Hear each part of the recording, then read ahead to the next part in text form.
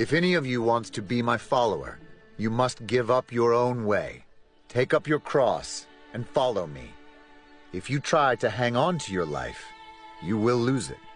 But if you give up your life for my sake and for the sake of the good news, you will save it.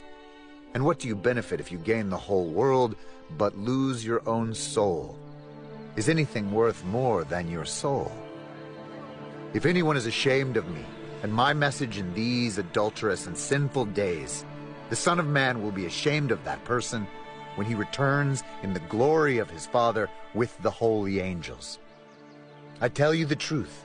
Some standing here right now will not die before they see the kingdom of God.